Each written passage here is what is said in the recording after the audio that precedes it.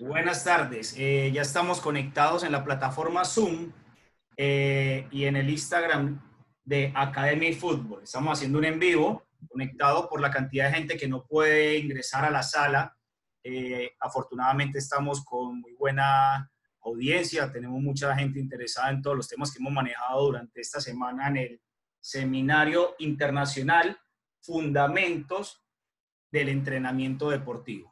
Entonces, como es costumbre, todos los días eh, voy a darle la bienvenida a todos los docentes que hacen parte de esta certificación internacional y de antemano, y después lo presento, agradecer a, a Frankie por habernos aceptado esta invitación y hablarnos pues del tema del día que es la formación del fútbol femenino.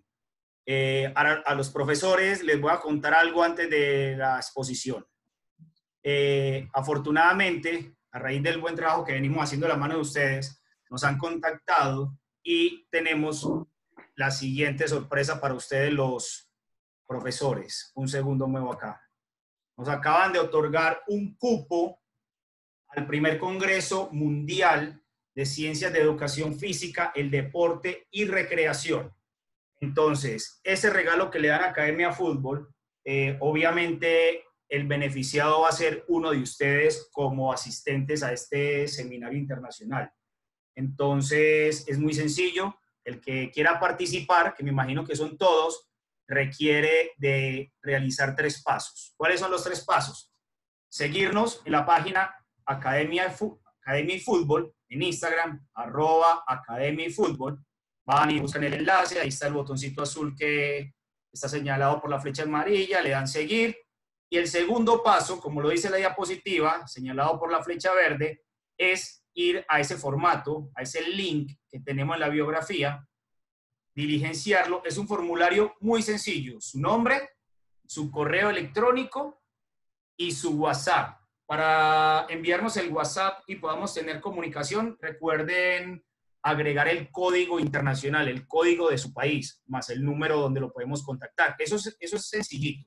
Solamente esos dos pasos. Pero ¿dónde está el tema? Como nos lo regalaron por usted participar del seminario internacional que venimos realizando hoy en el quinto día, el tercer paso es muy sencillo. Una de las fotos de los ponentes, donde está Frankie, María Carla, el profe Marco, el profe Javier, el profe Frank, o simplemente la foto de, de nuestro enlace en YouTube. Usted escoge cuál.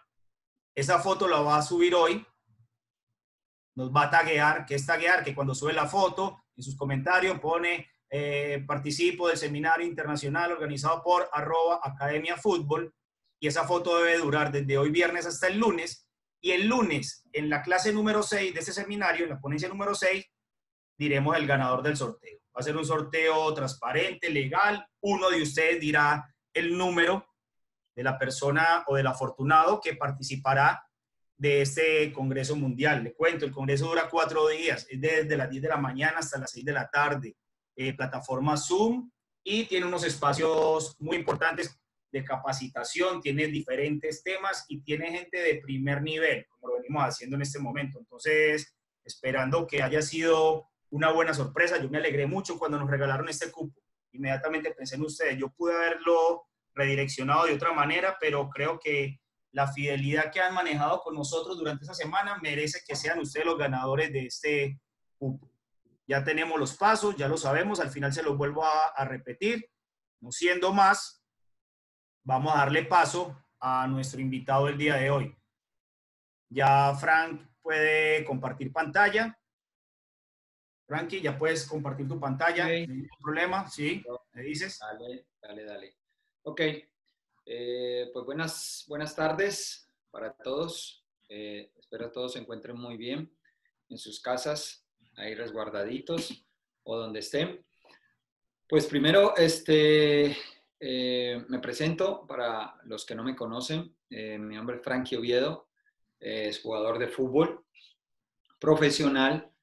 a lo mejor algunos de ustedes no, no, no llegaron a verme jugar, profesional porque pues eh, debuté hace mucho rato ya, hace ratito, desde el año, en el año 92 fue mi, mi debut. Y este, pues tuve más de 16 años de carrera futbolística. Eh, agradecerle a Sergio, a Sergio Restrepo, eh, esta invitación. Eh, yo creo pues que es algo muy bueno esto que, esto que se está haciendo, el poder por medio de esta plataforma de Zoom, poder tener estos conversatorios o estas charlas o estas ponencias, como ustedes le, quieran llamar, eh, todo enfocado pues a, a, lo que es el fútbol. Ahorita estamos en una situación difícil y complicada por esta, por esta pandemia que ha afectado a todo el mundo. Y pues el, el poder tener esta, esta charla o este conversatorio pues es, es gratificante. Eh, les, les cuento pues de que no, no estoy muy acostumbrado a, tener estas charlas o estas ponencias. Lo mío es la cancha, lo mío es el olor a pasto, lo mío es trabajar en la parte técnica, en la parte táctica, eh, el manejar el grupo en una cancha. Eh, pero ya por esta pandemia que se ha suscitado, pues nos ha tocado cambiar muchas, muchas cosas y, y muchos de nosotros eh, hemos tenido que ver las vertientes para poder este, seguir trabajando por medio de esta, de, esta, de esta plataforma de Zoom. Entonces, eso es lo positivo de, de esta pandemia, ¿no? Que nos ha unido más, de que hemos podido encontrarnos de nuevo a personas que hace mucho tiempo no sabíamos de ella, eh, enfocadas o englobadas a lo que es el fútbol. Eh, este maravilloso deporte, pues, de que nos ha dado muchísimas cosas y que nos sigue dando, no solamente, siempre digo yo, en la parte monetaria, ¿no? sino también en la parte espiritual, en la parte personal. Eh, te deja muchísimos amigos, te deja muchas cosas de aprendizaje que nosotros ahorita como formadores, como entrenadores formadores que somos, y, y no solo formadores, sino transformadores, porque para mí no es, no, o sea, es mucho más allá porque podemos formar a un jugador. Yo lo formo, yo lo llevo, yo lo, le doy la disciplina a un jugador o a una jugadora la llevo por un camino. Pero ¿qué pasa después cuando ya después de un año o de año y medio ya no está conmigo, sino que cambia con otro entrenador? Y ese entrenador a lo mejor no maneja tu misma filosofía de pensamiento, de trabajo, ¿no? Digamos, ese jugador, e-, ese entrenador, perdón, no es tan fuerte en la disciplina, pero lo que tú haces, lo que, o que tú hiciste con ese jugador, esa jugadora, la transforma y ya sigue ese mismo conducto o esa misma línea de disciplina eh, para seguir el camino enfocado a lo que quiere hacer. Entonces, por eso te digo que somos formadores y transformadores de, este, de este medio. Ahora, hoy vamos o tenemos nuestro tema principal, es el fútbol femenil sus, consideraciones o sus diferencias con el fútbol eh, varonil. Debo trabajarlas igual que, que los jóvenes o los hombres, debo manejar las mismas cargas, vamos a ver el tema de su ciclo hormonal, su menstruación, eh, el embarazo, eh, todo lo que conlleva a, a lo del fútbol femenil es, importante tener esas consideraciones porque pues esas preguntas muchas veces te llegan a, tu cabeza cuando te encuentras de lleno o sin, o sin tú comprender lo que es el, fútbol femenil. Vamos a compartir aquí pantalla. Eh, Vamos apagando por favor los videos para que pueda ser más fluida la. ¿Están viendo todos? ¿Todos lo ven? Sergio, estás viendo, ¿cierto? Sí, sin problema, está bien y el sonido está cool. Va. Entonces, eh, como les dije, el tema principal de hoy es el fútbol femenil, sus consideraciones cuando se entrena a niñas o a mujeres, ¿no? Pues yo voy a resumir un poquito cómo llego yo, cómo llega Frankie Oviedo al fútbol femenil. Eh, ahorita hablando con Sergio aparte, le dije que para yo llegar al fútbol femenil, indiscutiblemente tiene que estar relacionado con, con mi familia, porque si tengo dos, tengo tres hijos, dos de dos hijos son eh, mujeres, pero si no hubiera tenido mujeres, creo que hubiera sido muy difícil y complicado que yo llegara al fútbol femenil o que yo comenzara ese camino del fútbol femenil por medio de mis hijas que juegan fútbol. Yo después de mi retiro, que es en el año 2008, eh, pues me pongo a pensar y digo, ¿qué hago? Monto una academia de fútbol, monto mi escuela de fútbol y empiezo a entrenar con, con niños y con adolescentes. Y a la par, igual este, comienzo mis estudios porque me tengo que preparar, porque no puedo ser un entrenador empírico, nomás solamente quedarme con lo, con lo que yo aprendí como jugador. También tengo que conocer bien el cuerpo humano, tengo que conocer la parte psicológica y todo eso llevarlo a cabo en los entrenamientos. Ah, y en ese camino, pues por medio de mis hijas, eh, que juegan fútbol, que nacieron con ese don de jugar el fútbol y ese gusto, empiezo yo a entrenarlas porque me dicen, oye papá, pues entrénanos tú, ¿por qué no nos entrenan? Y me llega de, rápido, de sopetón esa noticia, pero yo no estoy preparado. Yo, vienen mis preguntas. Mis preguntas son, bueno, pero yo las tengo que entrenar igual que un niño, las tengo que tratar de igual manera que un niño, eh, tengo que acercarme a ellas igual que un niño, las cargas de trabajo igual que un niño, y a medida que voy empezando ese proceso con ellas, me doy cuenta que, no es fácil y que me encuentro o comienzo a encontrarme ciertas puertas cerradas, como que la cultura en ese tiempo no estaba muy abierta al fútbol femenil, que los padres de familia no lo ven bien cuando una niña este, le pega un balón o cuando una niña forcejea y golpea y da carga con, eh, disputando una pelota, que a lo mejor el padre de familia o la mamá piensa que ella al hacer este deporte va a perder mucha feminidad y ya no va a ser este, muy femenina, que se va a vestir de otra manera, que su comportamiento va a ser diferente. Entonces, todas esas, esas eh, barreras empiezo yo a encontrármelas y decido yo, digo, no, pues esta es una oportunidad para yo cambiar, para yo eh, este, empezar a cambiarle la manera de pensar al, padre de familia por medio de mi escuela. ¿Y cómo lo hago? En los entrenamientos, en el trato de Frankie Oviedo hacia las niñas, porque es una línea muy, de, muy, muy delgada o muy delicada del trato que tú tienes con las mujeres o con las adolescentes. La manera como tú le pones el brazo en el hombro, la manera como tú le hablas, este, la manera como tú la llevas a los trabajos o a los ejercicios, es una línea muy, muy delicada donde siempre tiene que estar la palabra clave que es el respeto. Y, eso, pues yo siempre lo tuve muy claro y lo manejé y el fútbol empezó a crecer. Estamos hablando de hace más o menos unos 12 años en Colombia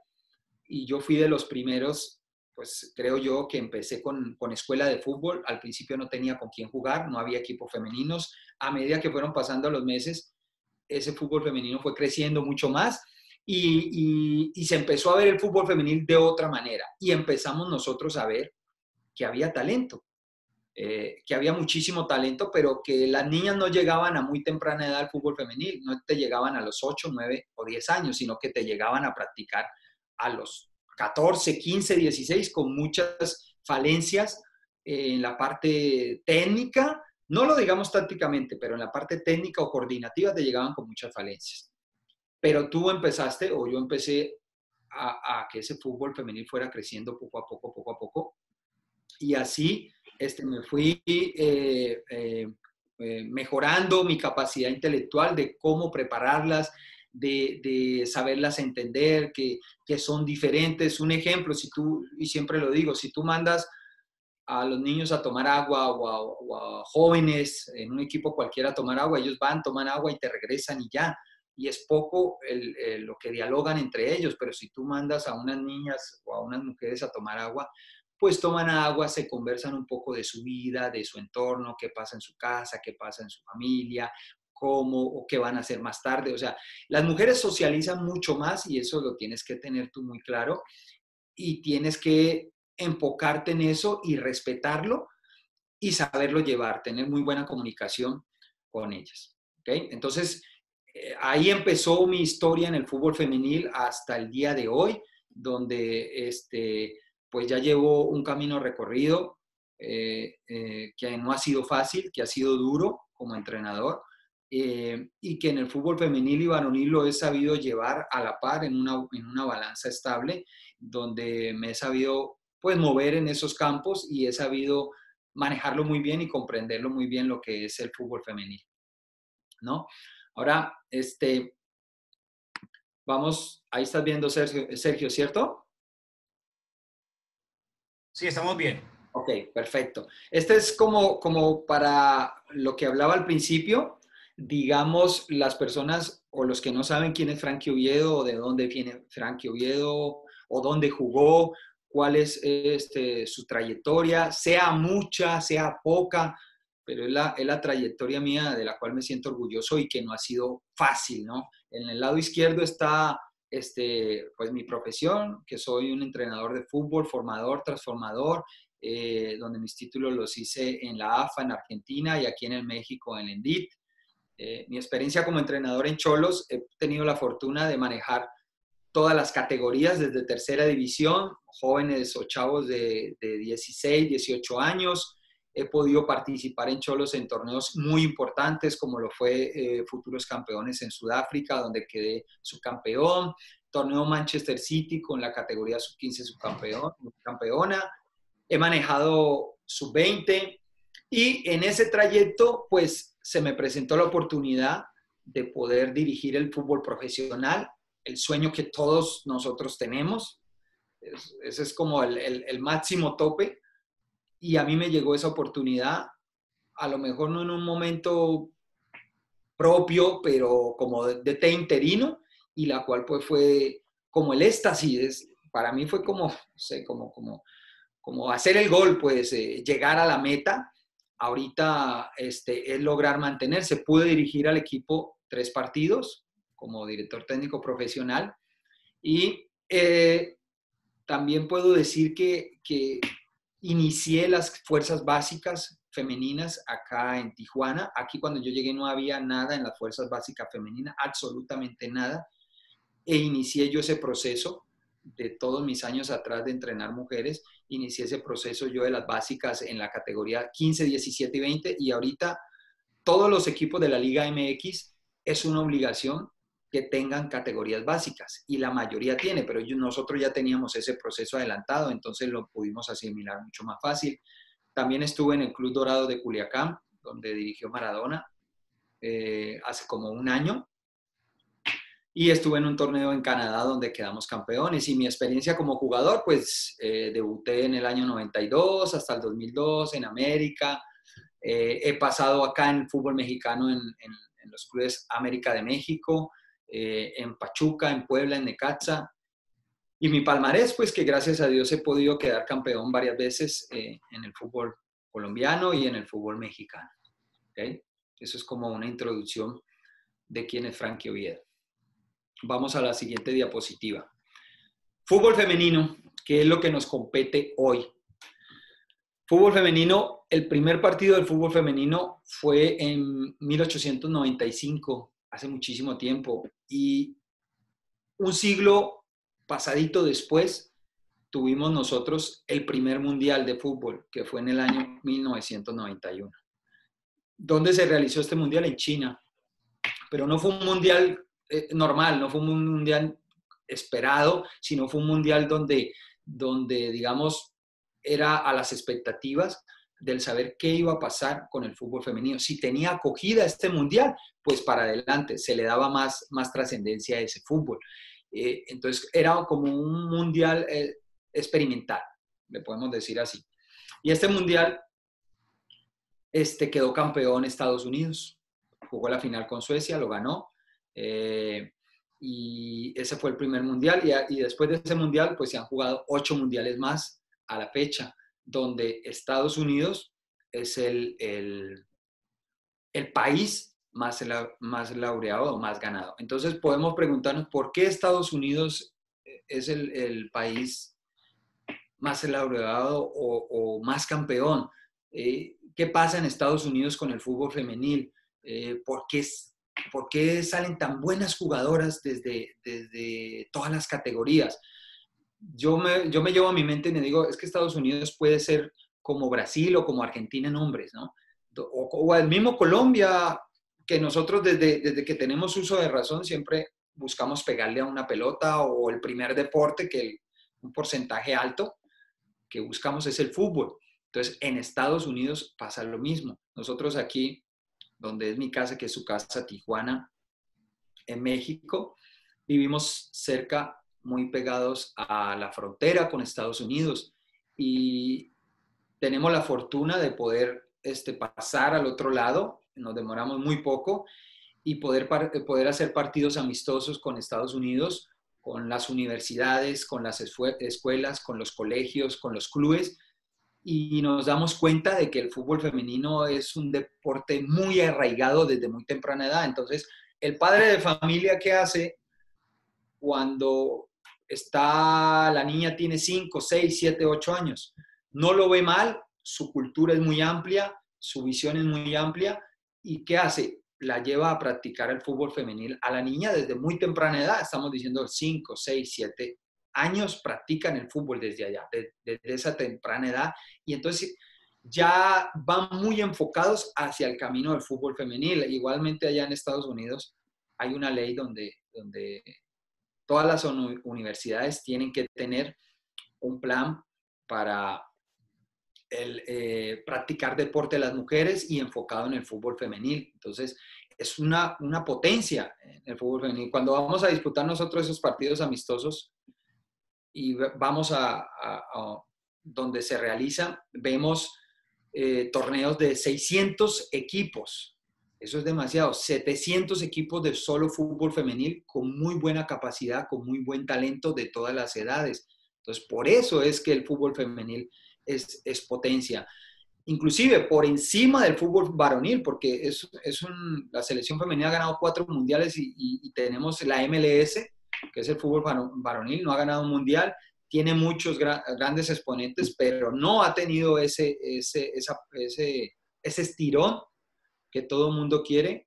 Eh, y por eso lleva a esos jugadores a, a, la liga MLS, pero el fútbol femenino está muy bien posicionado y es la potencia por, por esa cultura que tienen a muy temprana edad. Según estudios de la FIFA, más de 40 millones practican el fútbol femenil y estoy casi seguro que un porcentaje muy alto, más de un 50%, tiene que ver con el fútbol eh, en Estados Unidos. Siguiente diapositiva. Lo damos como un hecho, como un hecho que las adolescentes reportan más obstáculos para participar en el deporte que los niños, como por ejemplo el tiempo, el dinero, recursos, tabú y sobre todo la cultura y preocupación por la seguridad. Eso es como un hecho. Entonces es lo que, lo que venimos. Muchas veces tú, y en Colombia pasa, no, no llevas a practicar a la niña eh, o al adolescente, pues por diferentes cosas. Eh, en una escuela te cobran dinero y no tienes cómo pagar una mensualidad, no tienes los recursos, o a lo mejor el papá o la mamá lo ven mal de que la niña pueda practicar ese deporte, lo ve como que va a perder su feminidad, lo que yo decía, no le gusta, quiere enfocarla hacia otro, hacia otro deporte, la cultura o la preocupación por la seguridad que tiene que ver mucho el trato, cómo, cómo trata el entrenador a la jugadora, eh, si, de, si de pronto se va a pasar, si de pronto sus gritos son este, muy fuertes y la niña se va a sentir muy mal, eh, se va a sentir menospreciada. Entonces, ese es el hecho de, las razones por qué muchos padres de familia no llevan a temprana edad a practicar el deporte a, a las niñas. ¿Por qué se deben tomar en cuenta todos estos? Porque el, fútbol es el deporte con mayor crecimiento entre las mujeres a nivel mundial, es lo que acabé de decir en la diapositiva pasada, más de 40, 48 millones lo practican. Entrenadores que solo habían trabajado con niños o hombres, ahora se encuentran trabajando con niñas o mujeres, lo que a mí me pasó. Entonces tú tienes que estar preparado, porque tú no sabes cuándo te va a llegar la oportunidad. Alguien te dice, oye, ¿sabes qué? Eh, fulanito, sutanito, Sergio, Frankie, tienes que tomar esta oportunidad aquí está este grupo y tienes que trabajarlo, tienes que dirigirlo, tienes que entrenarlo, tienes que orientarlo y tú tienes que estar preparado para, para poder tomar esa oportunidad, ¿no? Y la mejor manera de prepararte es, este, tienes que eh, eh, abrir tu mente, y empezar a, investigar y, empezar a, que te lleven los caminos por esa vertiente del fútbol femenil. Y te surgen muchas preguntas respecto a las diferencias. ¿Debo tratar diferente a las niñas? Lo que hablé. ¿Entrenan y juegan diferente las niñas y los niños? ¿Crecen diferente los niños y las niñas? Entonces es lo que, lo que a mí me pasó. ¿Cómo las voy a entrenar? ¿Las entreno igual que los niños? Eh, eh, eh, con las mismas cargas, les hablo igual, crecen diferentes los niños a las niñas. Ya saben que más adelantito lo vamos a ver de la, edad cronológica y de la, edad biológica, ¿no? Que, las niñas maduran mucho más rápido que los niños en, esa cuestión. Existen técnicas o habilidades que las niñas y mujeres realizan diferente. Las niñas o mujeres se motivan diferente a los hombres. Todas esas preguntas son las preguntas que, a mí se me venían a la cabeza y que a lo mejor a muchos de ustedes se les pueden ir a la cabeza más adelante. Puede ser ahorita que entrenan mujeres o más adelante que les llegue la oportunidad, ¿no? Ahora, todas estas diferencias o consideraciones van enfocadas a los cuatro pilares del fútbol, ¿no? Que eso es importante, el tenerlo, el saberlo. ¿Cuáles son esos pilares? Pues son la parte física, donde ahí vamos a encontrar muchas, muchas diferencias en esa parte, ¿no? La parte técnica, donde también vamos a encontrar ciertas diferencias, pero, pero bueno, en la parte física encuentra diferencias por, su crecimiento, en la parte técnica porque no llegan a, buena, a buena edad o a temprana edad las niñas a practicar el fútbol, en la parte táctica igualmente y en la parte psicológica vas a encontrar esas diferencias también mucho más ahondadas para mí en la parte física, ¿no? Poco más o poco menos en la parte técnica y táctica y, y igualmente en la parte psicológica un poco menos, ¿no? Pero esos son los cuatro pilares que tú tienes que estar siempre enfocado y mirando hacia lo que viene hacia adelante. Ahora, en lo físico, fútbol base de 6 a 12 años, donde yo empecé y donde comencé yo a entrenar niñas. Las diferencias físicas son mínimas, se pueden atribuir a características individuales que a diferencia de géneros. Ahí es donde llegan en esa parte física cuando te llegan a temprana edad a practicar el deporte. Las psicológicas no son marcadas como lo podrían ser a partir de la pubertad, que lo vamos a ver más abajo. Niñas y niños juegan por las mismas razones. ¿Cuáles son las mismas razones? La diversión, pertenecer a un grupo, divertirse, pasarla bien, tener un rato de, sana eh, eh, espontaneidad. En esta parte es muy importante nosotros como entrenadores saber identificar muy bien eso, porque a lo que voy es que, ¿qué están ¿Qué es más importante para mí? ¿El ganar un campeonato, el ganar un torneo o el poder formar y el poder ir poco a poco llevando al crecimiento integral de la jugadora? Entonces muchos entrenadores anteponen y papás también anteponen primero el ganar, el que jueguen como sea y la manera como sea, justificando el, el medio para lograr el fin. Y entonces ahí tenemos que hacernos nuestra pregunta, ¿qué estamos haciendo bien? Sí estamos haciendo verdaderamente bien nuestra formación sobre estas niñas. Las técnicas biotácticas podemos decir que no existe evidencia donde se realiza diferente o mejor. Es una capacidad ya de entendimiento, pero en este, en este fútbol base tú simplemente acomodas en unas posiciones y ya no empiezas a meterles fundamentos tácticos, eh, de, transiciones, de desdoblamiento, nada de eso. Solamente los niños se divierten y nada, lo que quieren es jugar y pertenecer a un grupo de trabajo y ya. Eso es lo que tenemos que tener claro. Para mí, en estas edades, ahora, esto es mi opinión personal, eh, que no soy el dueño de la verdad y que simplemente es lo que yo traslado a lo que yo he podido vivir como experiencia en todo este tiempo que, he tenido esta carrera hermosa y linda como lo entrenador de fútbol. Adolescencia, pubertad, diferencia física entre niños y niñas. Entonces aquí es lo que hablamos de la edad biológica versus la edad cronológica. Pues ya sabemos que este, la edad biológica es de los años, meses, semanas, días este, cumplidos hasta la fecha, ¿no? Y la edad cronológica es la edad de, esa, de los procesos de, maduración. ¿Ok? Entonces, Crecimiento, aumento de peso y maduración sexual. Las niñas a partir de los 10, 11 años, de 7 a 14, llegando a su, a su maduración sexual a los 12 años. Y los niños a partir de 12 años, de 9 a 17, llegando a su maduración sexual a los 14 años, ahí está en rojo, eh, más o menos cerca de, de lo que estoy diciendo. Si llevamos todo esto al contexto futbolístico, podemos decir que los varones serán mucho más fuertes y más lejos eh, eh, y llegará a la pelota mucho más lejos que la mujer, ¿no? Y correrá más rápido. Ya sabemos que el hombre, pues es mucho más rápido, es mucho más fuerte, eh, tiene mejor resistencia. La mujer tiene mucha más flexibilidad. Entonces, ahí si lo llevamos al contexto futbolístico, vemos el fútbol eh, masculino mucho más rápido, más potente, más veloz, una toma de decisiones más rápida. Eh, el fútbol femenino es mucho más pausado, más tranquilo, hay menos eh, esos cambios de ritmo, esa velocidad de 30 o de 20 metros, esos cambios de, explosividad.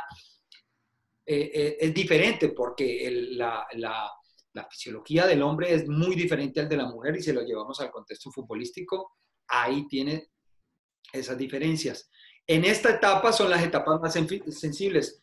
¿Qué significa esto? Y para mí es donde tenemos que colocarle mucho más atención y cuidado cuando estamos trabajando el fútbol femenil en esta etapa, ¿no? Tenemos que colocarle mucho más énfasis a los trabajos eh, de coordinación, mucho más énfasis al trabajo técnico, eh, buscar eh, esos, esos trabajos técnicos que sean orientados este, a, hacia la recepción y el pase, a los controles orientados, a poderle pegar bien con la pierna izquierda, con la pierna derecha, buscar trazos cortos de lo fácil a lo difícil, eh, eh, que se familiarice la mujer con esos trabajos para que pueda perfeccionar su parte técnica y así más adelante pueda mejorar su parte táctica.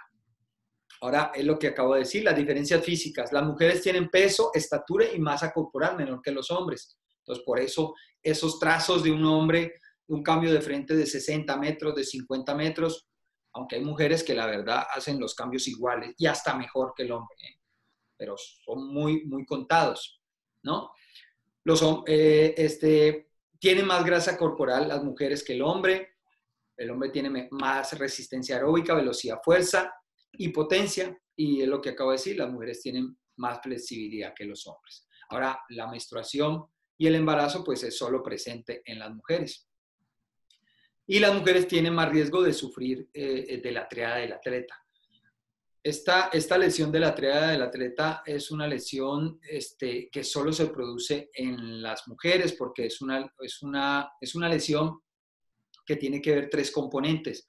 El primero, no hay una buena alimentación de la mujer pierde peso, no ingiere las suficientes calorías, carbohidratos, energía, eh, por, por, muchas eh, situaciones y esto altera con entrenamientos, estamos hablando de entrenamientos de alto nivel, de élite, entrenamientos intensos. Entonces, esto, si, si, la jugadora no, no está comiendo bien, no está este, ingiriendo la suficiente energía, esto afecta su ciclo menstrual. Entonces, ya el ciclo menstrual le cambia y ya eh, eh, los días que ella menstruaba ya no le van a llegar y entonces empieza a alterar ese ciclo menstrual y a esto se le conoce como la menorrea.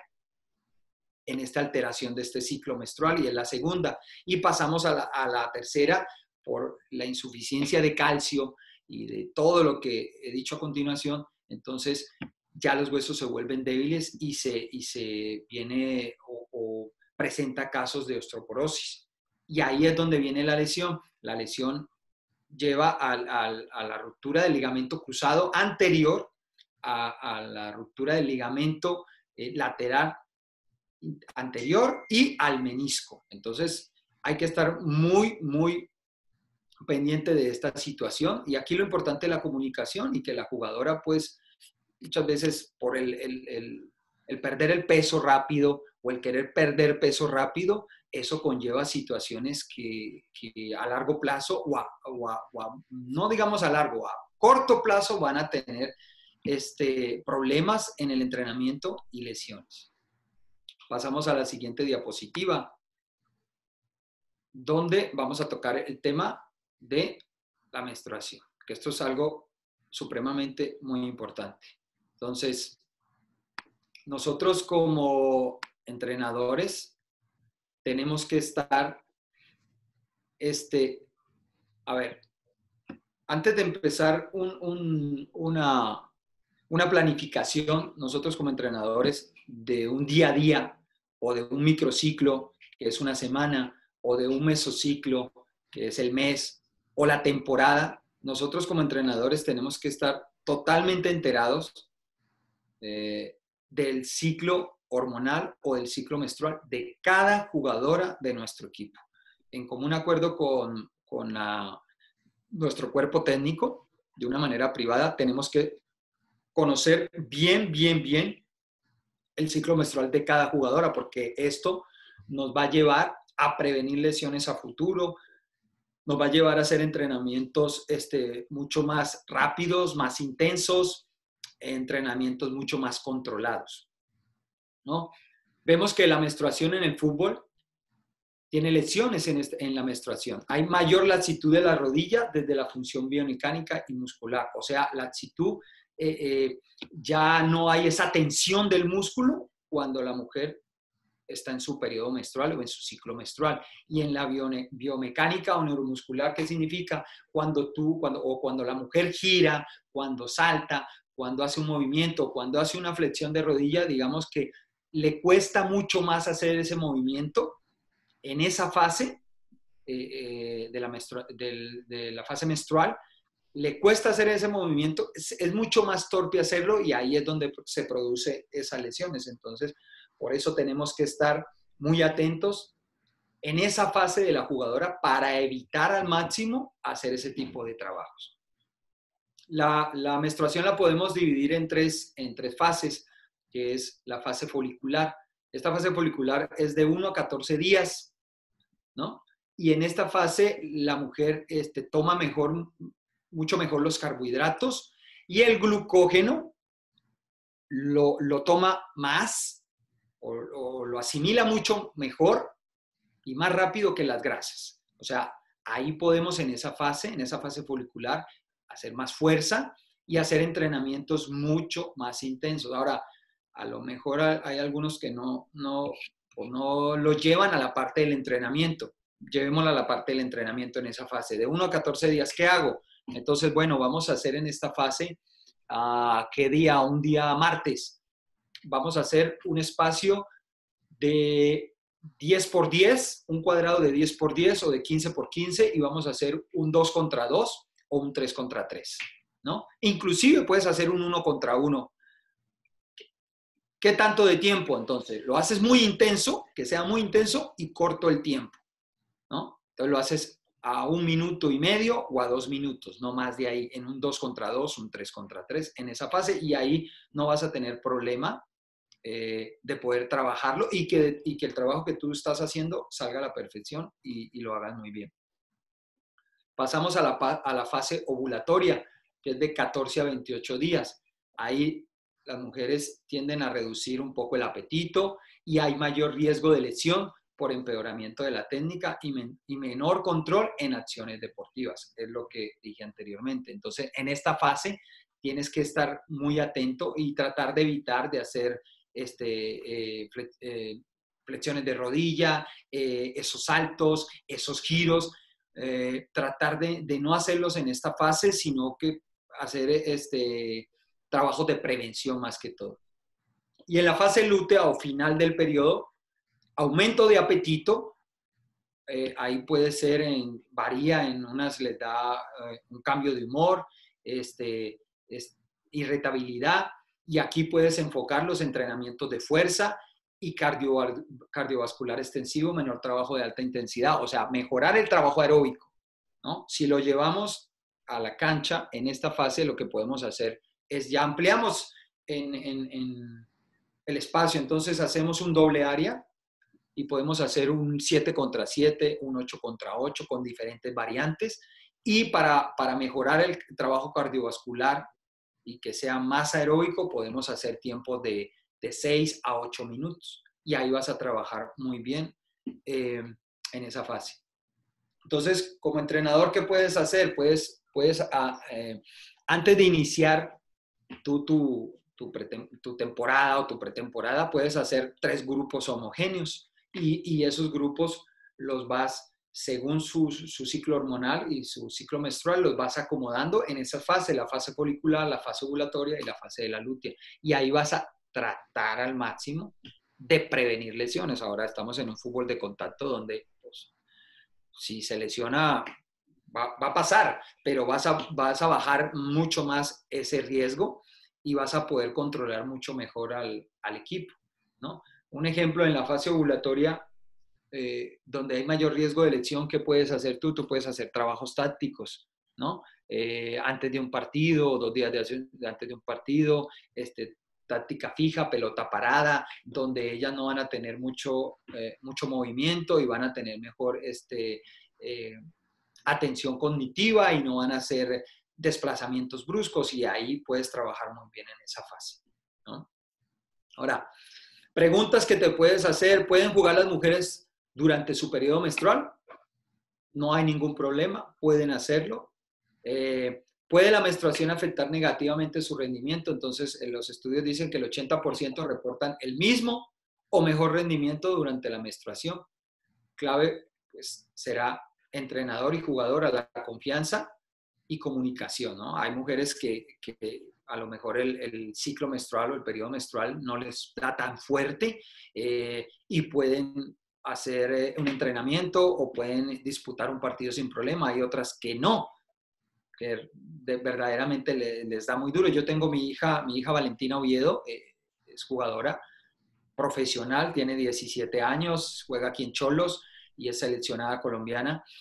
Y cuando la niña le llega a su ciclo hormonal, pues sí le da fuerte, le da muy duro, le duelen los huesos, este, le duelen las rodillas. Entonces, yo como entrenador, cuando una jugadora está así y, viene un partido muy importante, pues por muy, por muy importante que sea el partido, pero si ella no está en óptimas condiciones, pues la tengo que dejar afuera, pero tiene que tener esa comunicación y la jugadora también es tener ese profesionalismo de saber este, que por muchas ganas que tenga, que por muchos deseos que tenga, no está por encima de la parte física y del, desempeño físico y eso a a la final va a traer consecuencias este, no solamente deportiva, sino para ella misma, eh, porque lo importante es la salud de la jugadora.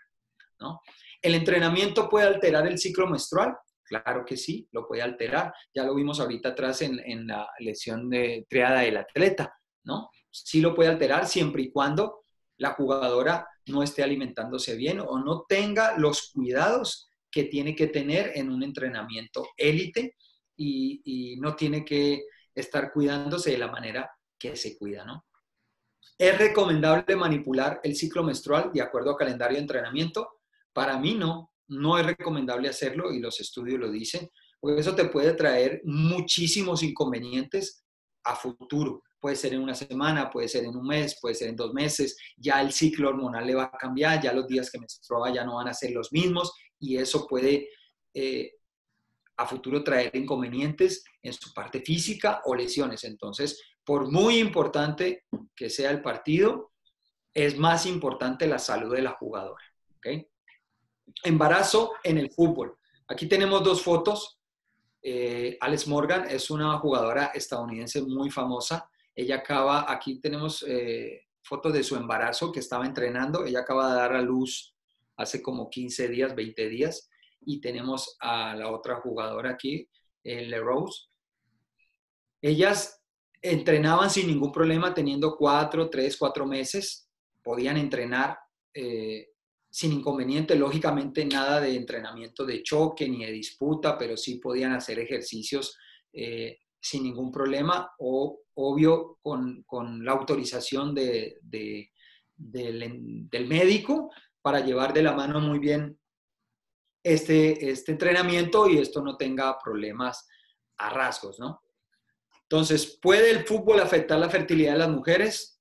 No, antes al contrario, entre más deporte hagas, entre, entre más practiques, sin, importar si sea fútbol o no, eso aumenta tu deseo sexual eh, y tu fertilidad. ¿Pueden jugar las mujeres al fútbol durante su embarazo? Es lo que acabo de decir. Pues durante su embarazo ya fútbol, fútbol en sí, no pueden, no pueden tener ese contacto porque obviamente pues eso va a perjudicar la salud de su bebé y la salud de la mamá. Ahora pueden jugar al fútbol las jugadoras durante su lactancia, lo que acaba de pasar con Morgan. Durante su lactancia pueden hacerlo, lo único y que he investigado es que qué pueden hacer ellos eh, o las mujeres cuando acaban de entrenar y van a darle eh, pecho al bebé, pues el sabor va a ser diferente. ¿Por qué? Porque ellas eh, después del entrenamiento han tenido mucho ácido láctico y ese ácido láctico le cambia el sabor a la leche. Entonces, algo muy práctico, muy sencillo es mejor sacar la leche láctea antes de entrenar, en el tetero, donde sea, y luego después del entrenamiento la llevas y no hay ningún inconveniente. Pasamos a la siguiente diapositiva. En la parte técnica, entonces, las deficiencias técnicas, no existen deficiencias técnicas. Lo que, lo que resalta en esta parte es una deficiencia técnica en el juego femenil. Entonces, vamos atrás al inicio. Lo que pasa aquí es que llegan las niñas o las mujeres, te llegan tarde o no te llegan a temprana edad a esa fase donde, donde esa fase es muy sensible, donde tú las puedes trabajar mucho mejor. Entonces, inclusive eh, en el caso profesional, y he visto, te llegan jugadoras al nivel profesional que ni siquiera han pasado por, por fuerzas básicas, que simplemente juegan en, en, su pueblo o en su ciudad, partidos X, y las ve alguien y dice, oye, juegan muy bien, pues vente a trabajar y van a trabajar al, equipo profesional y no saben coordinar, no saben pegarle, bueno, digamos pegarle sí, pero no saben una recepción, recepción orientada, mm, todavía no tienen los conceptos definidos este, defensivamente, ofensivamente, ni digamos tácticamente. Entonces, eso es porque te llegan, no te llegan a la edad que te llega un niño de 5, 6, 7, 8 años que te llega eh, a esa temprana edad para tener eh, en esa técnica el cabeceo. Hay niñas que les cuesta o mujeres que les da miedo el golpeo con la cabeza, que no saben elevar bien su cuerpo, los, colocar los, los brazos arriba y este, cabecear, el amague. Todas estas cuestiones de amague y dribbling, eso ya vienen esas jugadoras con eso. Esas jugadoras ya lo traen y lo que hacen es buscar es perfeccionarlas eh, a medida del entrenamiento. En lo táctico, las deficiencias tácticas en el juego femenil, si se compara al varonil, vamos a, aunque no es bueno las comparaciones, pero pues vamos a compararlos con el varonil. La velocidad de juego, velocidad de toma de decisión, es lo que dijimos atrás por las diferencias físicas. Es mucho más rápido el hombre, es mucho más potente, es mucho más fuerte. Entonces, esas diferencias se ven en la parte táctica, a diferencia mujer y de hombre, así como la toma de decisiones. Conocimiento y manejo de los conceptos tácticos básicos defensivos. Eh, el orientar, el perfilar, el anticipar una cobertura. Entonces, eso, esos conocimientos cuando llega, llega la niña o la mujer tarde, todavía no los trae y es difícil pues empezar a enseñárselos, pero a medida que va pasando entreno y entreno, tienes que buscar que los vaya conociendo para que mejoren esa parte táctica. Reproducción de la presión, juego de transiciones rápidas, flexibilidad táctica. Eh, en, el hombre vemos que te juega de central, que te juega de lateral, que te juega de volante de contención.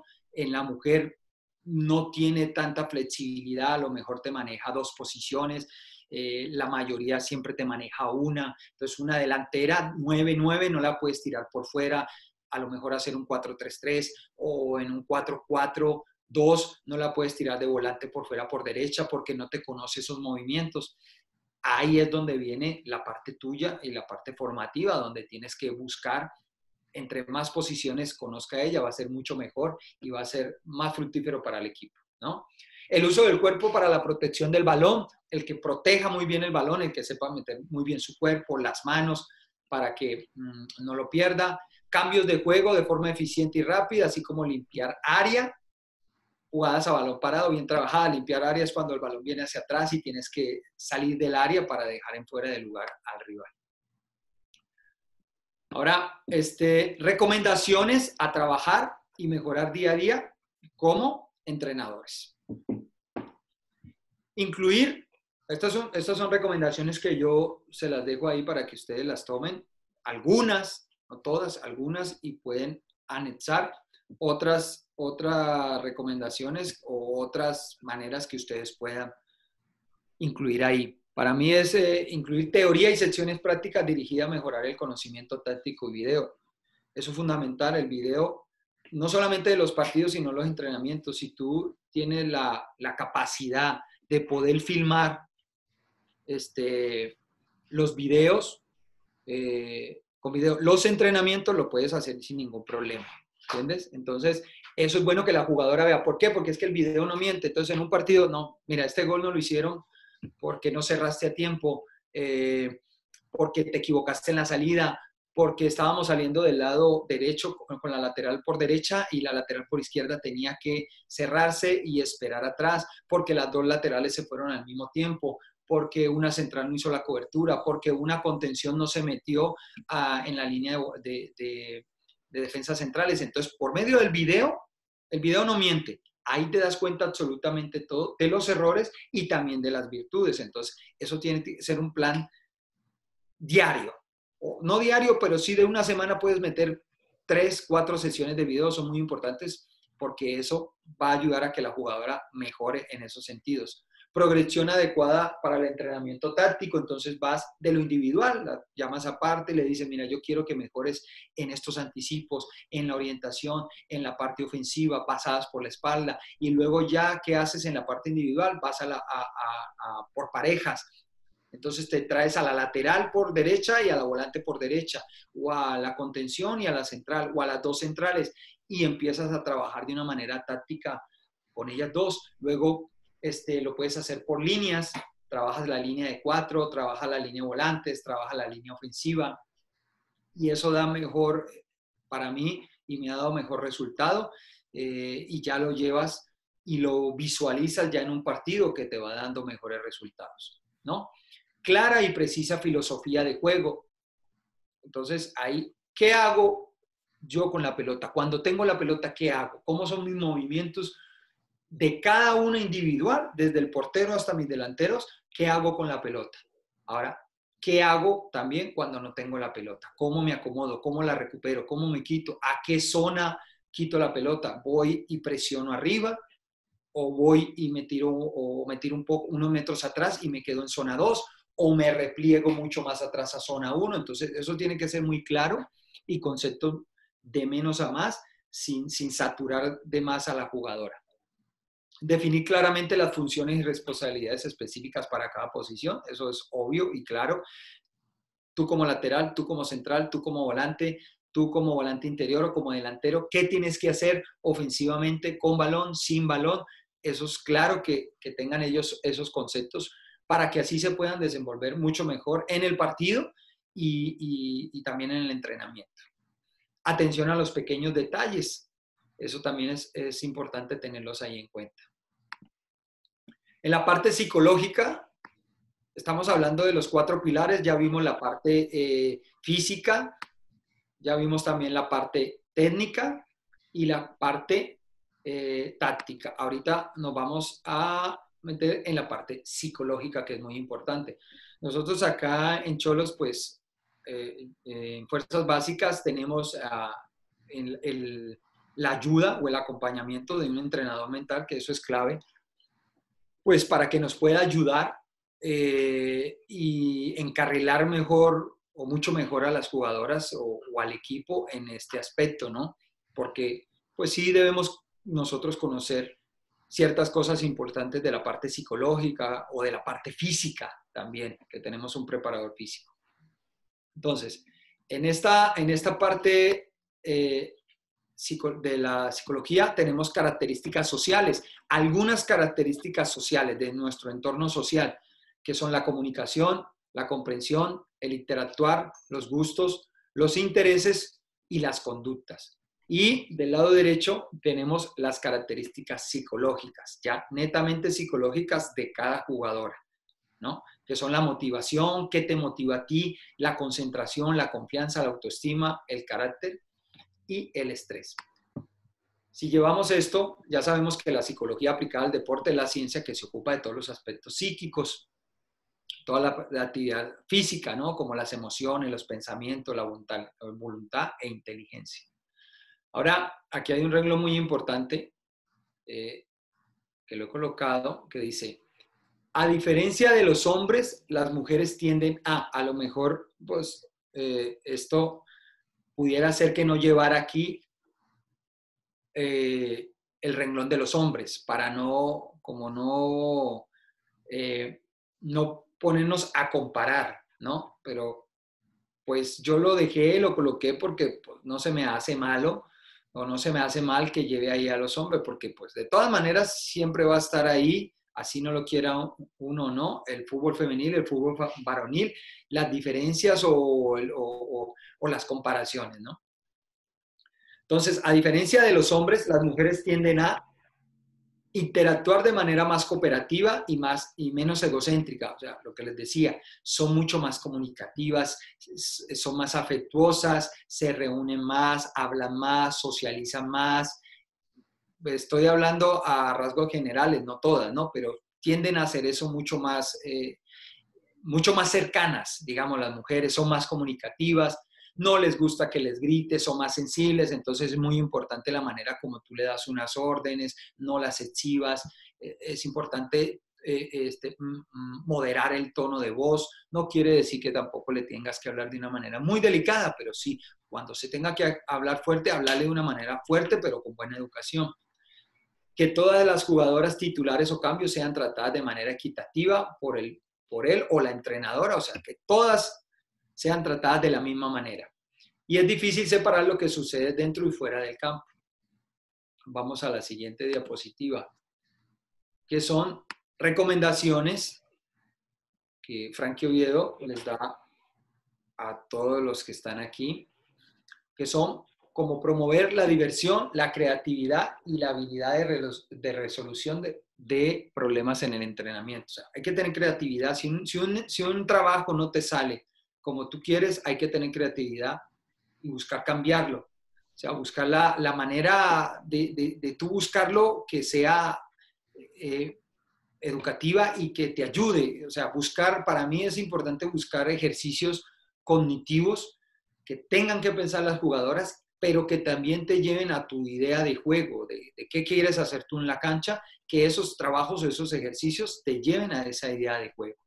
Empoderar a las jugadoras motivándolas a ser proactivas, o sea, de que hay, si, si hay un, un problema, un inconveniente, que la jugadora sepa solucionarlo y quiera tomar esa iniciativa para solucionarlo, que no espere solamente pues que el entrenador eh, eh, lo solucione, sino que dé su punto de vista y se exprese de una manera abierta, pero para eso tiene que haber una muy buena comunicación entre jugador y entrenador. Usa un estilo de entrenamiento positivo y de, descubrimiento guiado, o sea, siempre ser positivo, de siempre saber que tú llevas el mando, de que, de que tú como entrenador tienes la última palabra, pero que estás abierto también a sugerencias, que al final tú decides quién juega, tú decides dónde juega, tú decides este, qué se va a hacer en los entrenos, en los partidos, pero que seas abierto a las opiniones de, de las jugadoras y también de tu cuerpo técnico. Fortalece la autoestima de las jugadoras enfatizando las acciones positivas durante los entrenamientos y juegos. Recalcar, para mí es mucho, es muy importante siempre recalcar siempre más lo positivo, ¿no? De que hiciste las cosas bien, de que hiciste un buen pase, de que hiciste un buen cierre. Eh, si en algún momento te equivocas, no importa, la próxima te va a salir mejor, este, no te tires abajo, no agache la cabeza, o sea, siempre ser de manera positiva para que la autoestima de la jugadora crezca. Entrenen a la atleta, a la futbolista y no a un género. O sea, no, busquemos enfocarnos, entrenarla, en, en mejorarla en toda, en toda la, la extensión de la palabra, pero al fin y al cabo no pensemos que es mujer, entrenemos a la, jugadora y al atleta. Estas son frases que dice Mia Han, que la vimos anteriormente, que estaba en embarazo, dice, entrénenos como hombres, trátenos como mujeres. Ahí está, entrenamientos fuertes, intensos, de, donde exista la disputa, donde, donde exista la competitividad, pero no nos olvidemos que son mujeres. Aquí hay una frase de un entrenador que se llama Anson Dorrance, es un entrenador eh, americano, eh, entrena en Carolina del Norte, tiene muchos récords. Eh, fue este entrenador fue el primero que ganó el Mundial en China en 91, el primer Mundial. Dice, las mujeres tienen una comprensión superior de que las relaciones humanas son más importantes que el juego en sí. Con este jugador siempre cuento una, una anécdota que pasó en ese Mundial, porque antes de llegar al Mundial, eh, o mejor dicho, ya llegando al Mundial, él se acerca con una jugadora muy importante, emblemática del equipo, que se llama Michelle Ackers, eh, número 10, y entonces le dice, eh, Anson Dorral le dice a Michelle, le dice, oye, ¿sabes qué? Mira, ahí tenemos un inconveniente, un problema de una lesión, y yo quiero que tú me juegues en este mundial, me juegues en la posición de delantera. Quiero que vayas y juegues arriba, ¿no? Eh, creo que me vas a dar buen resultado y, por tus conocimientos y por tus condiciones lo puedes hacer muy bien. La jugadora lo aceptó y qué, y, qué haría si eso te hubiera pasado a ti como hombre, pues a lo mejor eh, tomas otra, otra actitud negativa, a lo mejor le dices, oye, ¿por qué no mandas a otra jugadora? Porque a mí, si yo me siento mejor acá, he llegado a la selección o he llegado contigo por jugar en medio campo, no, ella lo que hizo fue simplemente se enfocó en lo que el entrenador dijo, bueno, vamos a hacer, eh, vamos a buscar mejorar. Entonces, ¿qué hago? Esta jugadora lo que hizo fue ver videos de, los mejores delanteros de esa época, estamos hablando del 90, más o menos, del Mundial del 90, 89, 90. Entonces, ¿qué hizo? Ella buscó los videos de Marco Van Basten, este, buscó los videos de eh, eh, Jürgen Klinsmann, el delantero alemán, y los de Gary Lineker, el, delantero inglés, ¿no? Jugadores rápidos, jugadores, Marco Van Basten eh, desequilibrante, técnico, de buenos movimientos, efectivos, Klinsmann y, y este Lineker arriba. Vio esos videos, vio sus movimientos y al final Estados Unidos quedó campeón y la jugadora hizo 10 goles en seis partidos. Diez goles en seis partidos, imagínate, y fue goleadora. Entonces, eso la llevó a tomar eso que le estaba diciendo el entrenador de una manera positiva, lo convirtió en algo positivo y le buscó eh, eh, el camino a seguir, sabiendo ella, pues que tenía muy poco tiempo para poder rendir. Entonces, eso es una anécdota muy importante que siempre cuento. Ahora, aquí es una diapositiva, ¿por qué grita mi entrenador? Entonces, con la femenil hay que tener muy claro, con las mujeres o inclusive también con, la varonil, hay que tener muy claro esto. ¿Por qué grita mi entrenador? Entonces, mi grito o la manera como me expreso hacia mis jugadores o jugadoras debe ser el grito negativo es ese que te reclama, el que confunde, el que te atemoriza, el que desanima, el que te saca del partido, ¿no? El que no te, no te deja concentrar.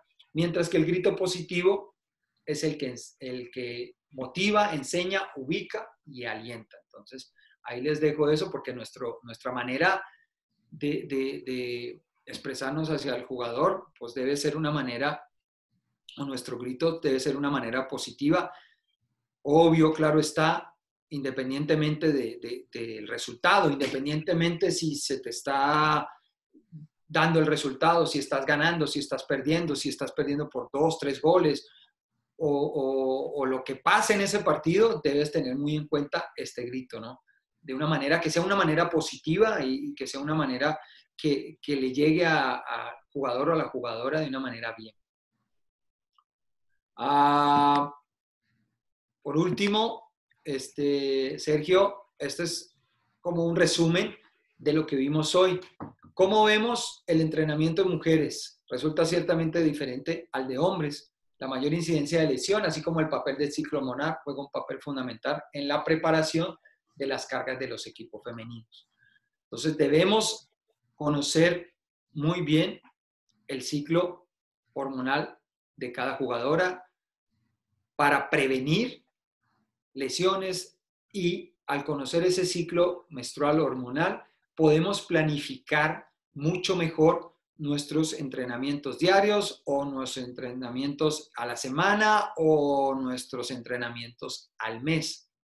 Y así tener más claro nuestra temporada y tener menos lesiones. Por eso debemos ser específicos en los métodos de trabajo para poder trabajar con eficacia y buscar sobre todo la optimización de la salud de las jugadoras y al, y al, optimizar esto pues vamos a tener un mejor rendimiento óptimo en los entrenamientos así como en los partidos. Pues este Sergio, esto pues ha sido eh, mi charla, ponencia o conversatorio del día de hoy, eh, de, lo, de lo que yo he vivido a lo largo de mi carrera, eh, donde de la noche a la mañana me tocó dirigir o entrenar fútbol femenino, donde me tocó pues investigar y con el pasar de los días, de los meses, de los años, ir mejorando este, mi entrenamiento, ir mejorando mi trato con el fútbol femenil. Y pues hasta ahora, gracias a Dios, no he tenido ningún problema con ninguna eh, jugadora, ya sea a nivel profesional o ya sea a nivel amateur en fuerzas básicas. Eh, mi comportamiento ha sido eh, ejemplar, muy bueno, siempre enfocado para mí en, el, en, la formación y en la transformación de la jugadora o del jugador. Espero pues de este, señores que esto les haya servido. lo he hecho pues la verdad con mucho cariño. Y pues eh, para seguir eh, eh, metidos en este ambiente futbolístico, esperamos pues, Sergio, que, pues, que esta no sea la primera, sino la primera de muchas más que vengan. y antemano pues agradecerte la, la, invitación que has tenido conmigo, eso ha sido importante para mí. y esto es una manera de seguir creciendo a nivel este, personal como persona y también como entrenador, Sergio. Ahí te dejo la palabra, pues, eh, ya hay que dejar de compartir. Ahí está. Listo. Ok, aquí le damos paso ya a las cámaras con nuestros compañeros, ya sabemos la dinámica de ir escribiendo las preguntas o cuestionamientos que tenemos y desde acá se transmiten a, a Frankie, en este caso, Frankie. Muchísimas gracias. Todos los días le digo a los profesores que nos ayudan con estas ponencias, que si hay algo difícil en el ser humano es el compartir. Y tú estás compartiendo con nosotros algo muy importante que viene retomando, que viene tomando vuelo amplio, que es el fútbol femenil, fútbol femenino. Eh, hay varias preguntas, nosotros hacemos cinco preguntas y conversamos de dos o tres de ellas y las otras son las preguntas precisas y así se vuelve dinámico y no se vuelve pesado el rato que nos queda. Eh, el tema más que más nos, nos tocan aquí los profesores es lo que tiene que ver con, la, con el ciclo menstrual, que tú lo tocaste, están las tres fases. Y la pregunta que encaja las varias que hay de la misma, es si cuando la niña, la adolescente, mujer, presenta su ciclo menstrual, primero, debe o no debe jugar. Segundo, si el rendimiento es al 100% o qué tan cercano está al 100%. Ok.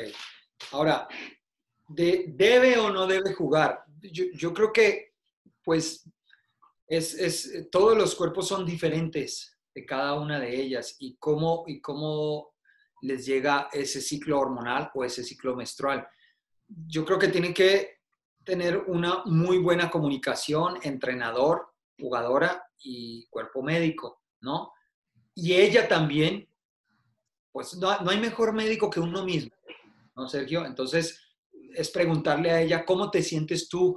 Este, te quiero ver de, físicamente, psicológicamente, ¿cómo te sientes tú del 1 al 10, siendo el 10 el tope máximo, siendo el 1 lo menor? Y ahí depende la respuesta que ella te diga. Ahora, digamos que debe jugar o no, eso puede jugar, a lo que voy yo es que puede jugar, ¿no? Eso no le va a afectar en, digamos, en su ciclo menstrual si tiene su buena alimentación. Ahora, el rendimiento, pues ahí en el estudio dice que el 80% tienen un, rendimiento normal o inclusive hasta superior, porque puede ser, Sergio, que, que hay una jugadora que te diga, oye, ¿sabe qué? Porque tiene que haber mucha comunicación y te diga, ¿sabe qué, profe, Frankie? A mí no me pega, inclusive a mí el ciclo menstrual como que me, las hormonas me las levanta y me siento más, más entusiasmada, estoy más contenta y, y más echada para adelante y con más injundia.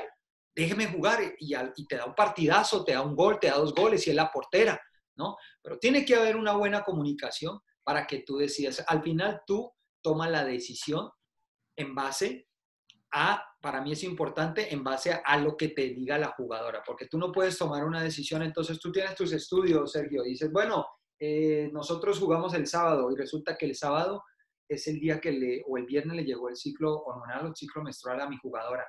No, que no juegue. No, no, no vas a jugar y no vas a jugar y punto, no vas a jugar. Entonces ya se empieza a partir esa comunicación y ese diálogo que tú tienes con ella pues sí es, importante tú no tomar una decisión a la ligera, tener una conversación con ella y hablar en una manera profesional y al final tú tomas la decisión. Ahora, mira, eh, si hay, hay jugadoras que te hacen un mal partido y resulta que no tienen el ciclo menstrual. Exacto. No lo tienen. O te juegan mal, porque el fútbol es así, ¿no? Eh, eh, entonces, pues es, es, una circunstancia que tú tienes que tener ahí en mente, pero pero simplemente vuelvo y digo, tener una buena comunicación y tomar la mejor decisión para el bien común y para el bien del equipo y sobre todo para la, la, salud física de la jugadora, ¿no? Sí, ahí es donde tenemos que aplicar uno de los principios del entrenamiento deportivo, que es el principio de la individualización y ver qué tanto y, qué, y con qué constancia eh, afecta y de qué forma, porque también puede haber una afección eh, positiva, como lo decías. Puede que las hormonas en ese caso eh, desarrollen algo adicional, un plus, que cuando no tiene su ciclo. Eh, también nos hablan acá del tema cultural, la profesora Isabel, que siempre participa. Entonces nos dice, ¿qué pasa con las mujeres que se dedican a practicar este deporte, fútbol, y se enfrentan dificultades, a dificultades culturales y sociales para crecer como deportista? Pues mira, ahorita gracias a Dios, gracias a Dios, Sergio, y a todos, el fútbol femenino ha tenido mucha expansión y, y, y, ya no se ve de la manera que, que, antes se veía, como en mis inicios, porque fue muy difícil. Yo, yo cuando tenía mi escuela y cuando empecé con el grupo femenino, pues había papás, inclusive amigos míos que jugábamos, eh, y me decían, no, yo es que yo a mi hija yo no la mando a hacer, yo no la mando a entrenar, eso se ve muy feo. Eso corriendo y pegándole un balón y llega toda sudada. Ahora, no, a mí no me gusta.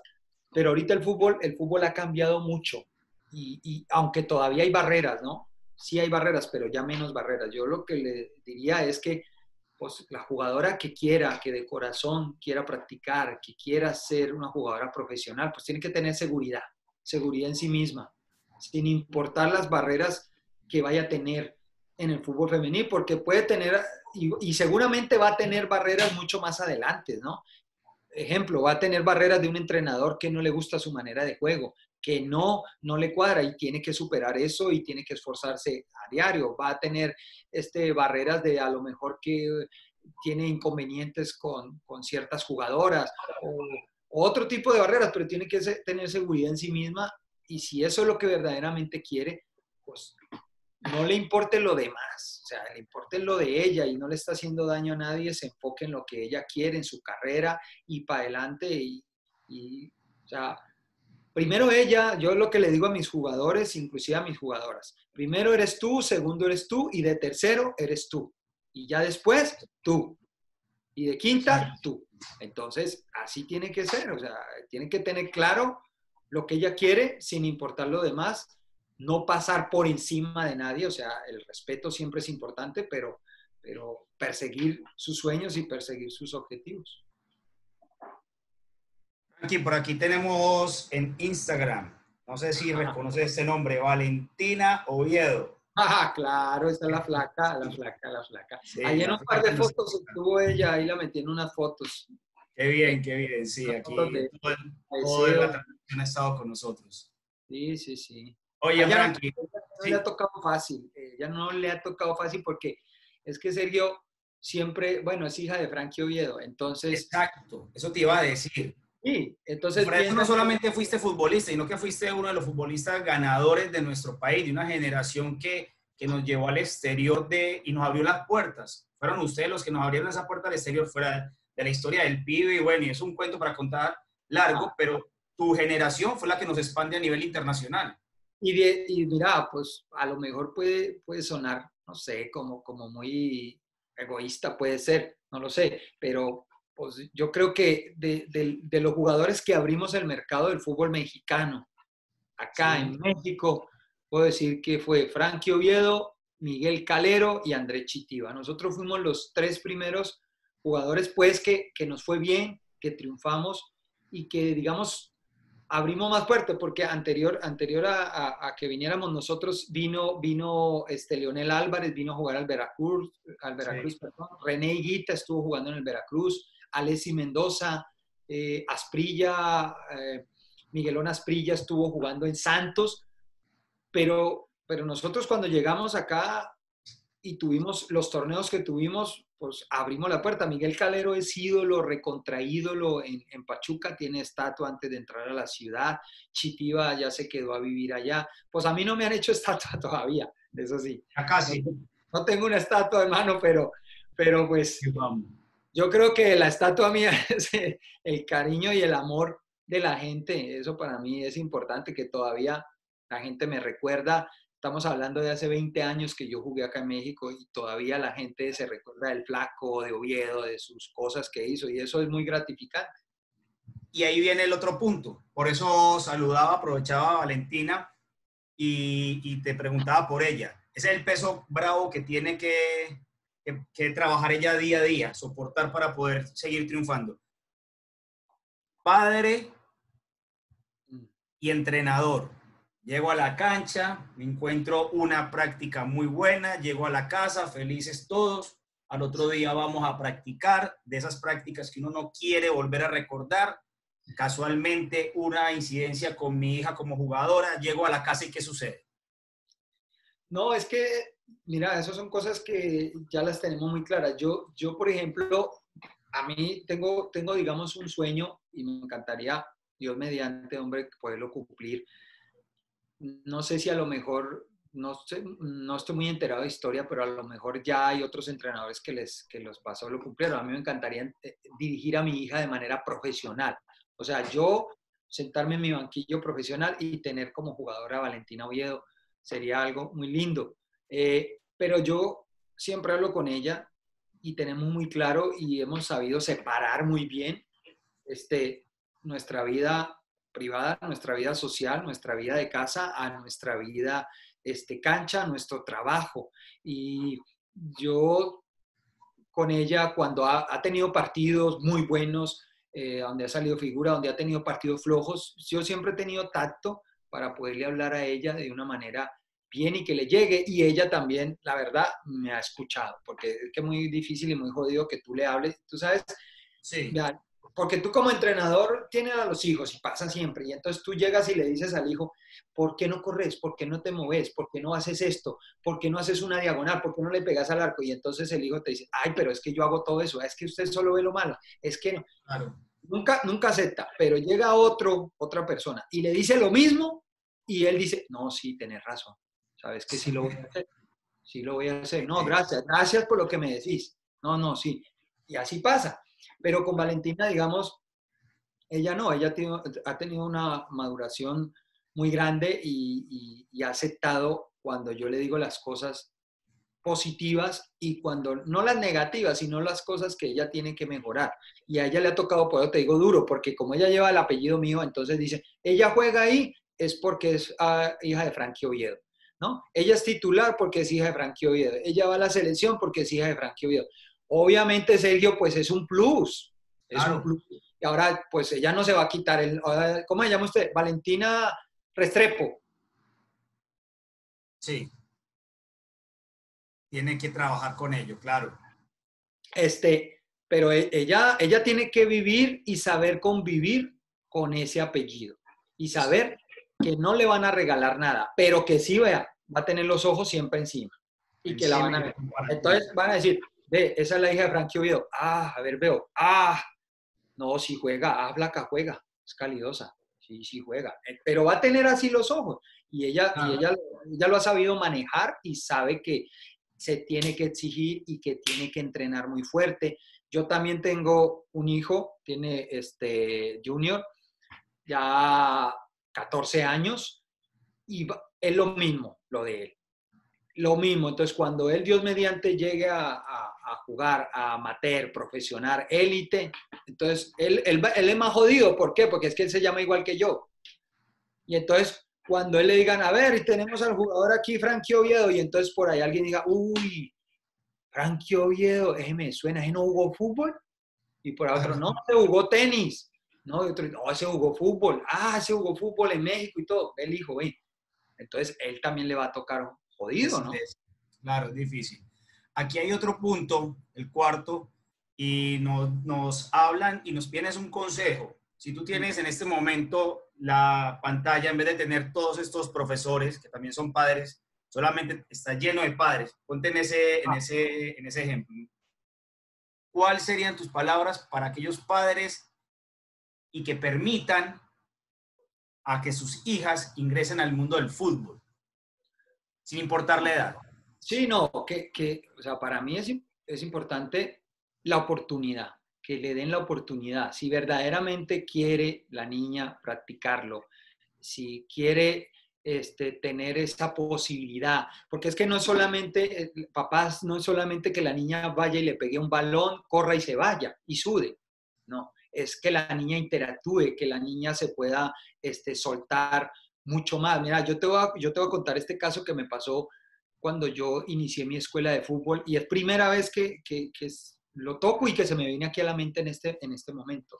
Yo, a mí me tocó equipo femenil y me llegó una niña con, con muchos problemas, una niña muy aislada, una niña con... Eh, tenía, eh, la niña tenía una enfermedad que se aislaba, que empezaba a hablar solita, que llegaba y se, se hacía, se acurrucaba así y se quedaba así media hora y cuando era la hora de entreno salía a la cancha, entrenaba, volvía y se iba, y era una niña que tenía inconvenientes de, su personalidad, no interactuaba, no socializaba, no hablaba. Y en, el paso de los, de, los días, empecé yo a hablar con ella, me hice muy amigo de la niña, y la coloqué de portera, imagínate, portera. Y al principio, pues le metían 15 goles, 20 goles, pero a medida que, que la niña y que yo empecé a entablar un lazo de amistad con ella y con las jugadoras, donde le dije, vamos a respetarla, vamos a, escucharla, vamos a ayudarla. Eh, se empezó a hacer un, lazo de amistad muy grande y la niña, al cabo de tres, cuatro meses, fue increíble el cambio. Es una niña que evolucionó y que inclusive fue considerada y fue llamada ya a una selección estatal una selección, ah, fue llamada a una selección, a una preselección Valle, como una preselección Antioquia. Imagínate.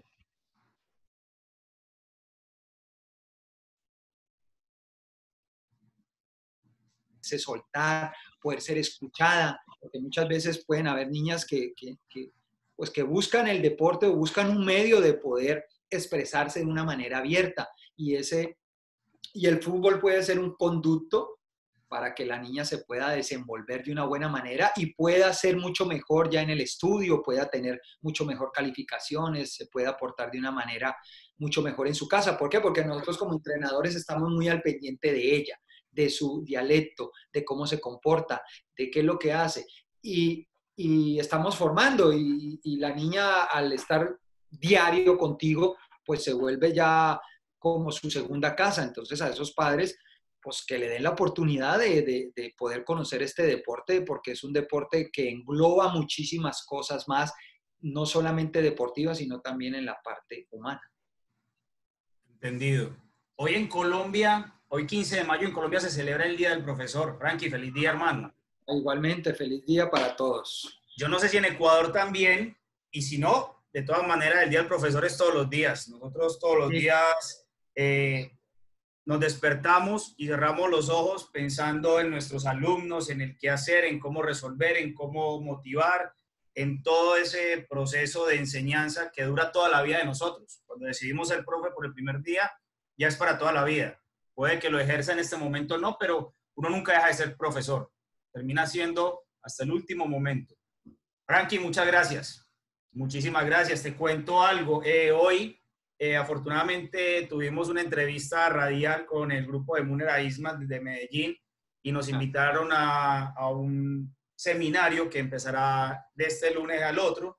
Y bueno, ya por el interno hablamos y coordinamos agenda, a ver si haces parte con el profe Montoya, con Wilmar Roldán, eh, con el profesor Pablo Cardona. Voy también yo en esa coordinación del evento y extiendo la invitación a todos los profesores que en este momento están en la sala y los que están en Instagram a estar pendientes de, de la publicación de fechas y horario de ese, de ese nuevo tema que Academia Fútbol como página le brinda a los entrenadores, docentes, dirigentes, eh, fisioterapeutas, médicos deportivos, eh, para que en esta época y después de que podamos retomar, sigamos en la capacitación continua. Yo creo que la capacitación continua, Frankie, es prenda de garantía para los procesos de formación que dirigimos nosotros.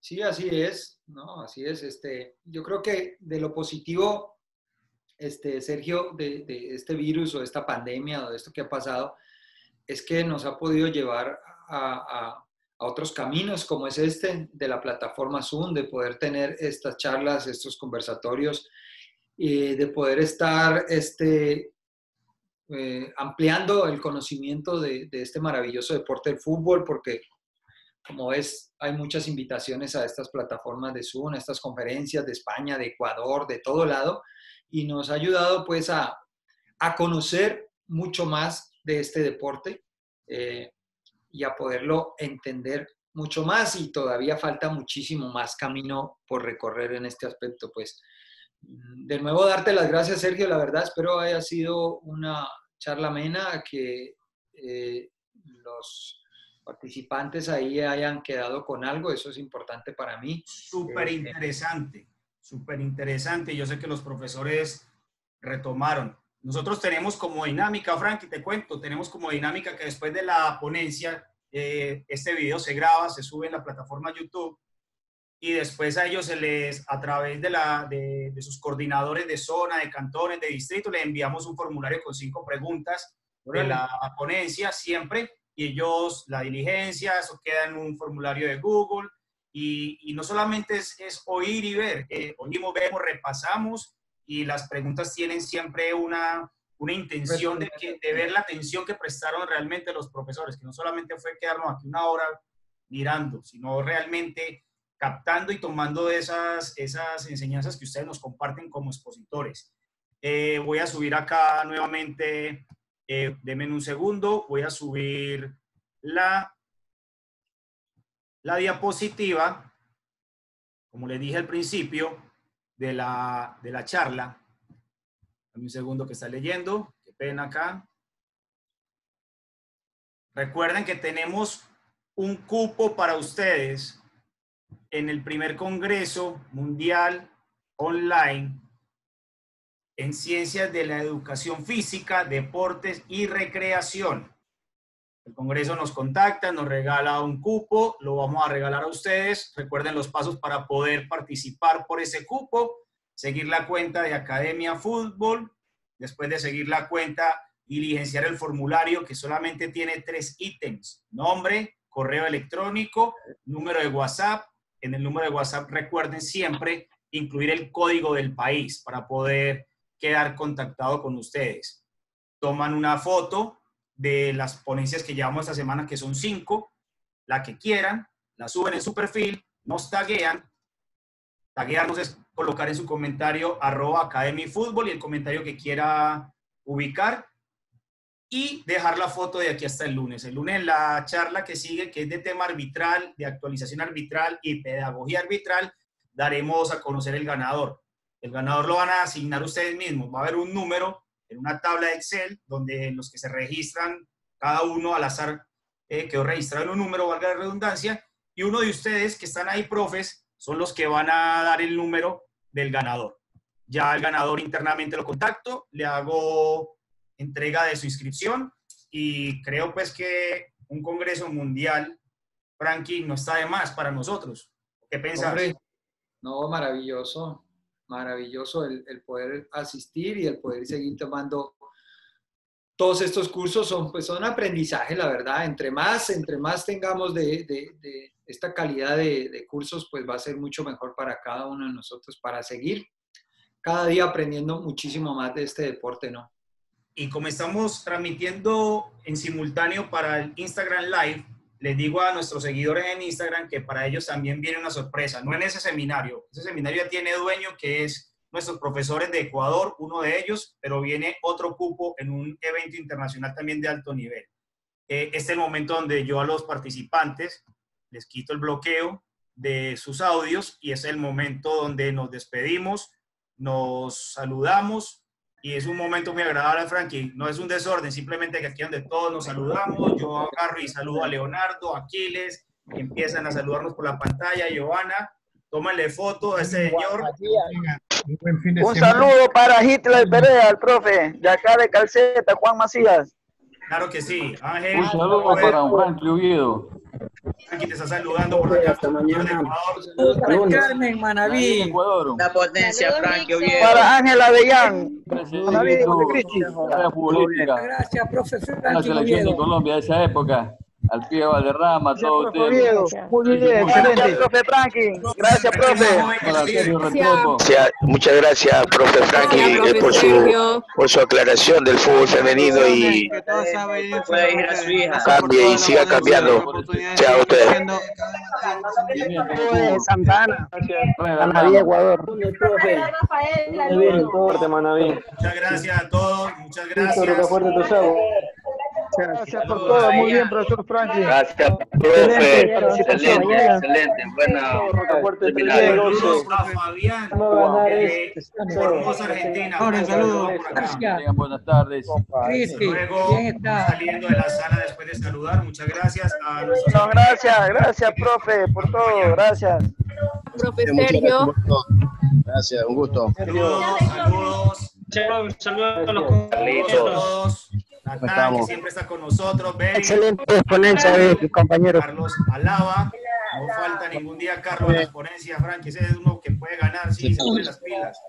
Robert, Felicitaciones por la ponencia. Saludos, Víctor Hugo. Saludos para Jerónimo Catagua desde Cruzita. Profe Hitler, Antonio Mora, Ángel Avellán, Buen trabajo de moderador. Diego, Moreira, Miguel Manrique, Rubén, Javier, Roy, Nos vemos. Erwin, Juan Garcés, Florentino, Eduardo Luca, Washington, saludos. Profe Ketty, la profe Mariela, la profe Angélica, Muchas bendiciones, que tengan un feliz fin de Muchas semana. gracias, pro- profe Jorge. Muchas gracias, profe Jorge. Rubén Muñoz, ahí Nos siempre. vemos el día lunes, Dios mediante. Muchas gracias. Saludos, Washington, Sergio. y Tiago, excelente. La profe Angélica está por acá. por el taller. Henry, Lunes. el lunes, nos vemos el lunes, atento a las redes sociales, ahí vamos a dar indicaciones en todos los demás temas. Carmen Manaví, Teresa Moreira, muchas gracias. También por aquí en Instagram. Saludos a todos. Marrón. La Juan Macías. ¿cómo le va? profesor Alexandra. Un saludo grandioso por ahí, un abrazo. Génesis, la profe Génesis Frankie. La reunión es a las 3 y la profe Génesis se conecta desde las 10 de la mañana, para que sepa. Ah, cómo se ríe. Muchas Todos los gracias. días está ahí. Johanna también que se está riendo. Bueno, Frankie, por el interno te saludo. Listo, te voy a llamar por WhatsApp. Dale. Dale, pues, bye bye. Chao. Bye a todos. Hasta luego. Hasta luego. Hasta luego. El día del profe en Instagram para toda la gente en Colombia.